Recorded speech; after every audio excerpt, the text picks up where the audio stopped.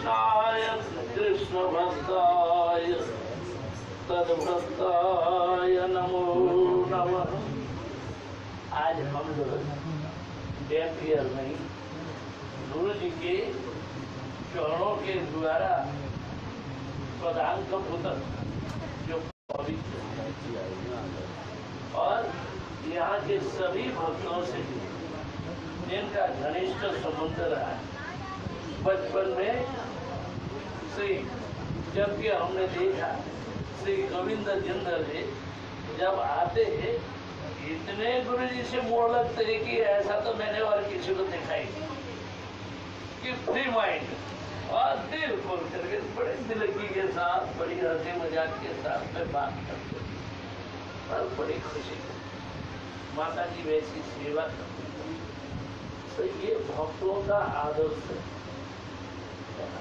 भक्तों का आदर्श क्या है? साधु गुरु वैष्णवों की सेवा भगवान की भक्ति करना भागवत जी में जब नारद जी की कथा आती है तो भगवान ने दर्शन दिया। दे करके बोले कि देखो नारद, तुम्हारे अंदर कुछ कसाय है, ये सारा मिट जाए और फिर मेरे लोक में आ जाओगे। उसके लिए तुम्हें एक काम करना है। दो को जाने सत सेवया अदीर्घयापी। दीर्घामयी जाता मती। कि साधु पुरुषों की सेवा करो। उससे हृदय निर्मल हो जाएगा। अब फिर मेरा नाम लेते रहो। भजन करो। उससे अति शीघ्र मेरे पास आ जाओ। वही स्थिति है। गुरु जी बोलते अरे देखो भाई संसार में हिरण्य हिरण्य रावण कुंभकर्ण वंश जरासंध ये लोग सभी बड़े बड़े साधक। जरासंध रोज दिन हवन करता था। दस हज़ार ब्राह्मणों को दान देता था, खिलाता था। तो इस तरह का भक्त देखने से बड़े धार्मिक माने जाएँगे। परंतु वो क्या करते थे? कृष्ण को नहीं मानते थे। इसी वजह से ही जरासंध का विनाश हुआ। और हिरणाक्ष हिरण्यकशिपु आदि के जैसे तपस्वी कौन बनेगा? साठ हज़ार वर्ष तपस्या करने वाले। दिवस का ढेर लग गया। ब्रह्मा जी आए, उन्हें पता नहीं चल रहा हिरण्य कशिपु कहाँ है। तो इस तरह के बड़े बड़े साधन। इतनी लंबी साधना तो कोई, हम कोई नहीं कर सकते। परंतु देखिए क्या बात हुई कि हिरण्यकशिपु ने ब्रह्मा जी से वर मांग लिया। पर उनका हृदय शुद्ध हुआ या नहीं? इतने बड़े तपस्वी, साठ हज़ार वर्ष जिन्होंने तपस्या की, अपने हृदय से काम, क्रोध, लोभ, मोह, गर्व, अहंकार और ईर्षा हिंसा, विद्वेष, इसको निकाल पाए या नहीं? कभी नहीं आकर के उल्टा देवताओं पर चढ़ाई कर देंगे। और उन हिरण्यकशिपु को क्या चाहिए? तपस्या के बल पर इतनी क्षमता प्राप्त करके उनको केवल चाहिए था सूरा और सुंदरी। है ना? हिरण्यकशिपु उसी के पीछे पड़े रहे हैं। सूरा और सुंदरी के पीछे। आरती होगी। आरती हाँ ठीक आरती करेंगे। वो करेंगे। पड़े रहे। इतनी लंबी समय तक तपस्या करने वाला व्यक्ति, इतना उसका हृदय शुद्ध नहीं हुआ, पवित्र नहीं हुआ। बोले, क्यों? जो लोग गुरु का आश्रय नहीं करते। जो लोग गुरु का आश्रय नहीं करते, सदगुरु, सद वैष्णवों की सेवा नहीं करते, उनका हृदय शुद्ध नहीं होता है। और हमेशा वैसे ही कालिक बना रहता है कलुषित होता है इसलिए हमारे गौड़ीय वैष्णवों में ये गुरु परंपरा चली कि गुरु की सेवा करो, वैष्णवों की सेवा करो, इसी में रह लो। तब हृदय शुद्ध हो जाएगा, पवित्र होगा। तब भगवान का नाम मुँह से निकलेगा। उनके पास जा सके। नहीं तो देखिए ब्रजभूमि में क्या हो रहा है। आज जैसे हरियाणा में राम रहीम हो गया ना। जो लोग कोई गुरु की सेवा नहीं करेंगे, वैष्णवों की सेवा नहीं करेंगे, खुद भगवान बन जाएँगे। वो विषयी तो विषयी इंजॉय वाले हो जाते हैं।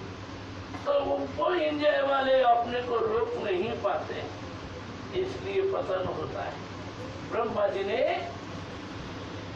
भगवान की स्तुति में कहा कि हे प्रभु, जो तुम्हारे चरणों का अनादर कर साधु संतों का अनादर कर, बड़ी कठिनाई से कि हम मुक्त पुरुष हैं, हम ब्रह्म हैं, हम ब्रह्म में लीन तो ऐसे लोग बड़े कष्ट से ऊपर चले जाते हैं। बहुत ऊंचाई पर पहुँचते हैं। जाकर के धड़ाम से गिर जाते हैं। और जो कुछ सेवा करते निरीह रूप से कोई अहंकार नहीं, अभिमान नहीं तो वे लोग क्या करते हैं?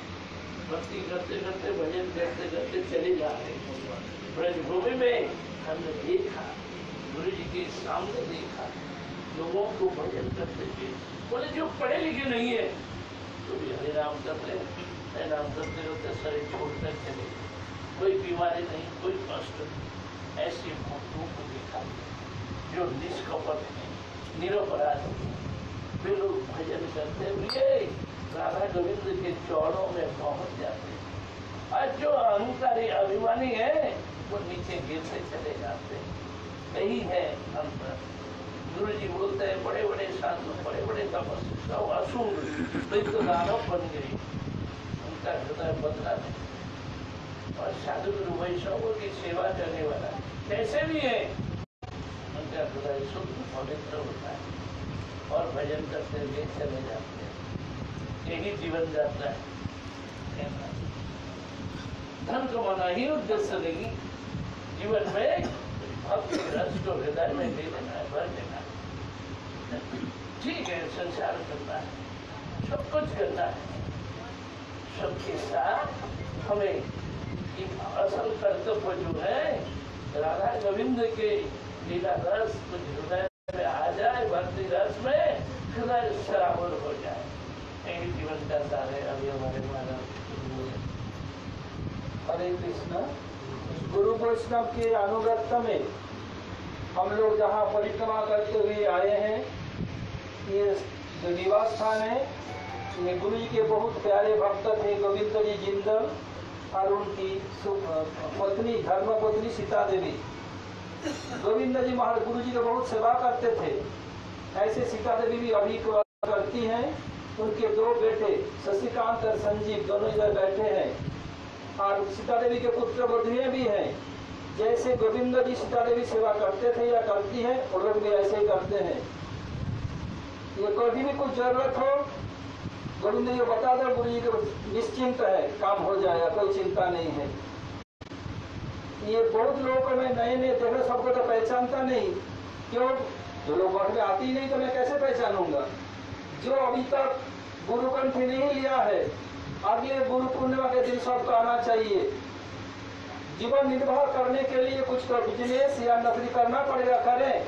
लेकिन ये पैसा कमाना ही जगत का जीवन का उद्देश्य नहीं है। जिन लोगों के पास अगाध पैसा क्या सुखी है, अमेरिका में देखिए कितने पैसा है उन लोगों के पास, कोई आता नहीं है क्या सुखी है वो। इसलिए भजन किए बिना सुखी कोई न हुआ, न हो सकता है। और हिरण्य कशिप का उदाहरण दिया। समस्त देवता लोग उनके कंट्रोल में थे। अग्निदेव उनके घर में आग जलाते रसी के लिए वायु देवता झाड़ू लगाते थे। देखिए कैसी स्थिति है रावण ने किया हिरण्य कशिपु ने भी किया।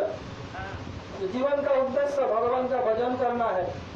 इसलिए आप लोग सभी से अनुरोध है, जो अभी तक कंठ नहीं लिया ज़रूर कंठ लेकर भजन करें। मैं राधाष्टमी के बाद चला गया था साउथ अफ्रीका, सीधा इधर महारानी ज्ञानी सीधा इधर आया हूँ। इसलिए जो उधर जो देखा, लोग दो तीन घंटे ड्राइव करके आ रहे हैं प्रवचन सुनने के लिए। और आप लोगों को पास में आप लोगों का फुर्सत नहीं है। ऐसा नहीं होना चाहिए।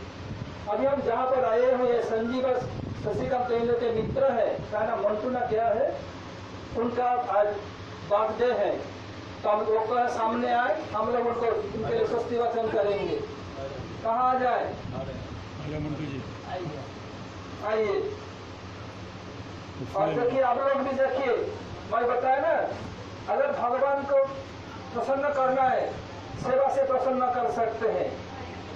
भगवान कृष्ण राधा जी इतना कंट्रोल क्यों होते हैं? इसलिए कि सेवा के राधा जी को किया है। আপনারা देखो কিভাবে সেবা করেন সন্ত করেন আপনারা শিখবেন যদি किसी को सेवा सीखना है घर से सीख के सेवा करते हैं, और हम लोग और सस्त वचन करेंगे। पुष्प ले लें लोगों को भी दे दे थोड़ा थोड़ा आप लोग सब रिपीट कीजिए। ओम स्वस्ति नो गोविंद। स्वस्ति नो अच्युतानंतो स्वस्ति नो वासुदेवो। विष्णु। दधातु। स्वस्ति नो ऋषिकेशो विश्वक्सेन विश्वेश्वर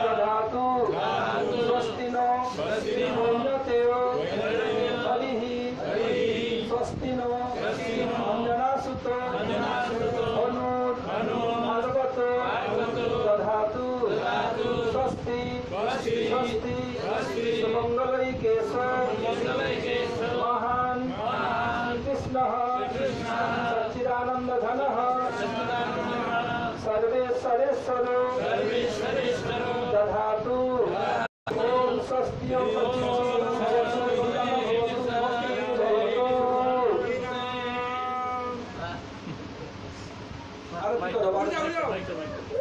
कृष्ण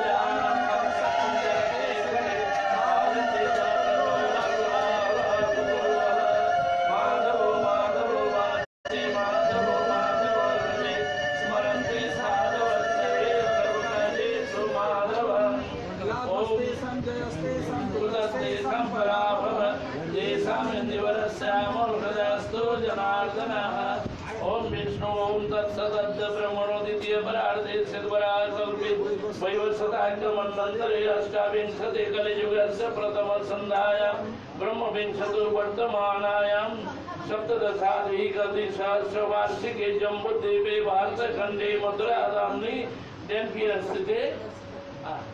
तो आपका नाम तेज प्रकाश तेज प्रकाश हाँ, हाँ। एक चत्वारिंशत् एक चत्वारिंशत् वर्षे तदीय जन्मदिवसे शुभाशीर्वादमस्तु कृष्णे मदेरस्तु सर्वं शुभं भवतु सर्वं शुभमस्तु कल्याणमस्तु आरती करो आरती जय जय राधा कृष्ण जय आरती दे